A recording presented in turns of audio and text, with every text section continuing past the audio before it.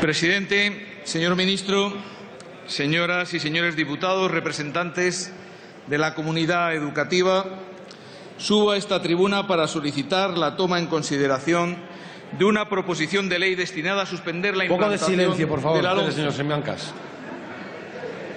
Por favor, si van a salir del hemiciclo, háganlo en silencio. La mal llamada, decía, Ley para la mejora de la calidad educativa. Pretendemos, además, que la paralización de la LOMCE suponga el primer paso para su derogación efectiva y su sustitución por un nuevo marco regulatorio, una nueva regulación estable, perdurable, que debe ser fruto de un gran pacto social y político sobre el mejor futuro para la educación en España. Como saben ustedes, la LOMCE se aprobó en diciembre del año 2013 con el respaldo exclusivo del Partido Popular y con la mayor parte de la comunidad educativa manifiestamente en contra docentes, estudiantes, padres y madres de alumnos, administraciones autonómicas. Se trata de una ley, por tanto, no dialogada, no acordada, una ley estructural impuesta por una mayoría coyuntural. Y ahora que las mayorías han cambiado, bastaría probablemente con este argumento para reclamar la paralización de la LOMCE. Sin embargo, el Grupo Socialista no solicita el fin de esta ley porque sea una ley del PP, que atiende solo y de manera sectaria a las ideas e intereses que defiende el PP. Proponemos parar la LOMCE porque su implantación está provocando incertidumbres, confusión, dificultades prácticas y graves perjuicios en los centros educativos para profesores, para docentes, para alumnos, para las familias. Y sobre todo solicitamos parar esta ley porque se trata de una mala ley para la educación en nuestro país. En el Grupo Socialista estamos convencidos de que el futuro de España será lo que sea su educación y no queremos para el futuro de nuestro país el atraso, la desigualdad, el autoritarismo y el clericalismo añejo que representa la LOMCE. Paremos la LOMCE, deroguemos la LOMCE y alcancemos cuanto antes un gran pacto social y político que proporcione a la sociedad española la educación de calidad y con igualdad de oportunidades que necesita y que merece. Este es el objetivo de la proposición que les presentamos. El 13 de agosto de 2015, señorías, el Ministerio de Educación rechazó la propuesta de hasta 12 de las 17 administraciones autonómicas para llevar a cabo una moratoria en la LOMCE, una moratoria en la conflictiva implantación de una ley ya de por sí conflictiva, mayoría que hoy se ha reproducido en la reunión de la Comisión General del Ministerio de Educación. Esta misma mañana, 12 de 17 comunidades autónomas. Pero el Gobierno se ha negado. El Gobierno quiere una aplicación a toda prisa de su ley, a matacaballo, sin tener en cuenta la opinión y las dificultades lógicas en los centros educativos. En consecuencia, la implantación de la LOMCE está siendo precipitada, confusa, con instrucciones contradictorias y sin recursos suficientes. Entre los desarrollos más controvertidos de la ley están, desde luego, las famosas reválidas. En pocas semanas, si no lo remediamos, cientos de miles de niños y niñas que cursan sexto de primaria se enfrentarán a una prueba anacrónica e inútil. Porque ¿cuál es el objetivo de esta reválida? Detectar los problemas que aquejan al conjunto de la enseñanza primaria a fin de corregirlos. ¿Qué sentido tiene entonces hacer la prueba al final mismo de la etapa cuando ya no cabe corrección alguna? Se trata de comprobar el grado de asunción de competencias por parte de los escolares. ¿Por qué no confiar entonces en la evaluación de los profesores que trabajan día a día con esos escolares y saben muy bien de su evolución? ¿Por qué despreciar el trabajo de estos docentes y confiar más en el resultado de una prueba concreta que se realiza en unos minutos y que puede estar sesgada por los nervios o por un mal día para el estudiante? Esta prueba responde al anacronismo pedagógico de concebir el desarrollo del aprendizaje como una especie de carrera de obstáculos que el estudiante debe ir superando para no ser arrojado a la cuneta del fracaso escolar. Algo peor incluso, la prueba responde al interés por elaborar rankings competitivos con los que premiar a determinados centros educativos y con los que estigmatizar a otros sin tener en cuenta las condiciones bien diferentes en las que han de hacer su trabajo día a día. Evaluar para diagnosticar y mejorar, sí, desde luego, siempre. Evaluar para competir, para premiar aún más a los centros ricos y para estigmatizar aún más a los centros pobres, no, no cuenten, señorías, con nosotros para esto. Esta reválida solo sirve para provocar estrés en niños de corta edad, para generar una desconfianza inmerecida entre los docentes y para añadir tensiones, disfunciones y agobios presupuestarios a unos centros educativos muy castigados ya por los recortes. Y si hay problemas en la reválida de primaria, no menos problemas hay con las reválidas que ha sembrado la LONCE en la enseñanza secundaria y en el bachillerato, que además son punitivas, o apruebas o fracasas. Si había si existía en nuestra enseñanza un consenso dificultoso pero relevante, era el establecido en torno a la selectividad. La prueba de acceso a la universidad garantiza aún hoy unas aptitudes mínimas para los estudiantes que llegan a la enseñanza superior y al mismo tiempo esta prueba distribuye a los aspirantes en los estudios más demandados mediante una prueba única, válida para todos los campus, garantista de la igualdad de oportunidades. Con la LONCE este consenso ha saltado por los aires. Y ahora mismo los alumnos de bachillerato de este país viven una incertidumbre absoluta sobre los procedimientos que han de llevarles a la universidad a partir del próximo curso. Si no lo remediamos aquí, en 2017 ya no habrá selectividad. Los estudiantes tendrán que superar la reválida punitiva de segundo de bachillerato y además tendrán que superar las pruebas que cada una de las universidades establezca específicamente. Es decir, que un aspirante a estudiar medicina puede pasarse meses o años tras superar la reválida de bachillerato haciendo una prueba distinta de acceso en cada universidad. Además de disparatado, este es un proceso que acaba con la igualdad de oportunidades. La conferencia de rectores, con toda lógica, ha pedido una moratoria al Gobierno en funciones. Y el Gobierno en funciones, como es lógico, como es de su lógica, se ha negado, claro está. Pero hay más, mucho más. Los repetidores de segundo de bachillerato que han cursado con modelo LOE este año tendrán que repetir con modelo 11 el año próximo. No tiene sentido, pero nadie ha resuelto el problema aún y nadie ha establecido quién va a pagar la solución al problema.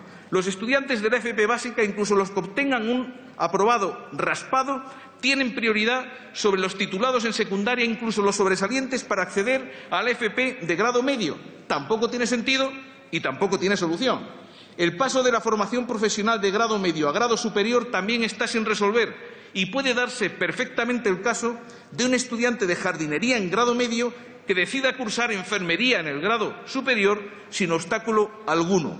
Podría pasar perfectamente, permítanme la broma, de podar amputar sin ningún obstáculo.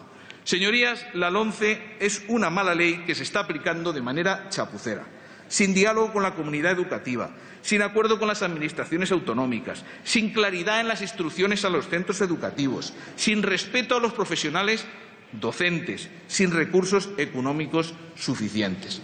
La LONCE es una mala ley y su aplicación es un auténtico desastre. Un desastre que tenemos que parar con esta iniciativa que sometemos a la consideración del Pleno del Congreso. Queremos parar y queremos derogar la LONCE. Pero no porque sea una ley del PP. Queremos parar y derogar la LONCE porque es una ley que no resuelve los problemas de la educación en el presente y porque genera problemas aún más graves para el futuro. La LONCE parte, señorías, de un análisis falso. Las dificultades de nuestra enseñanza no están en los resultados de los informes PISA, en los que generalmente figuramos en los tramos medios. Y la raíz de nuestro elevado abandono escolar tiene muy poco que ver con ley alguna, con esta y con la anterior.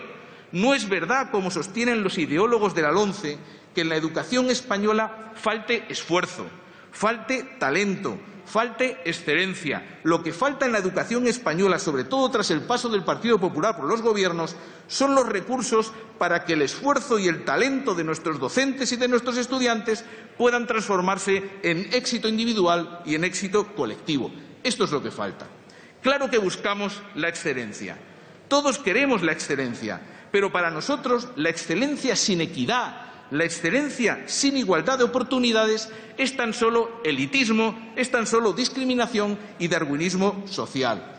Claro que hay problemas en la educación española, pero los problemas de la educación española no se resuelven, señorías, con reválidas y catecismos. Los problemas reales de la educación española se resuelven con diálogo, con inversión, con respeto a los docentes y con una apuesta simultánea por la calidad y por la equidad. Por eso no nos gusta una ley segregadora como la LONCE. El sistema educativo debe servir para compensar las desigualdades de partida con que el niño llega a la enseñanza, no para consolidar esas desigualdades con segregaciones tempranas y con reválidas punitivas. Frente a las desigualdades sociales hay dos modelos educativos, el que ayuda a cada cual en función de sus necesidades y el que discrimina tempranamente entre presuntos listos y presuntos torpes para enviarlos por caminos distintos. Y la LONCE representa el segundo modelo, el más injusto. La LONCE es también una ley mercantilista porque persigue formar antes buenos empleados que ciudadanos capaces. Y los ciudadanos deben ser capaces para ser buenos empleados y capaces también para ejercer críticamente sus derechos y sus libertades. Mercantilista porque permite que un alumno transcurra toda la etapa de escolarización obligatoria sin haber estudiado nunca filosofía.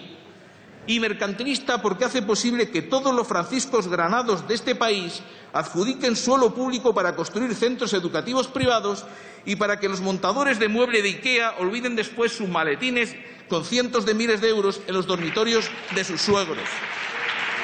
También es una ley autoritaria y contraria a la participación democrática en los centros educativos, porque resta capacidad de decisión a los consejos escolares, a los docentes, a las familias, mientras refuerza la capacidad de decisión de los directores nombrados a instancias de la Administración. Y una ley clerical porque invierte la tendencia laicista de la propia sociedad española, convirtiendo el adoctrinamiento religioso en materia curricular y evaluable. Mientras nuestros vecinos europeos procuran reforzar el currículum educativo con más idiomas, con más tecnología y con más soft skills, aquí se examina a los niños con Padre Nuestros y con Ave Marías. Y a esto lo llaman calidad educativa. Es una ley que refuerza la religión y devalúa la formación profesional, pensada otra vez, como antaño, para recoger el alumnado residual del sistema como la vía del fracaso, como el destino preestablecido para los alumnos con dificultades.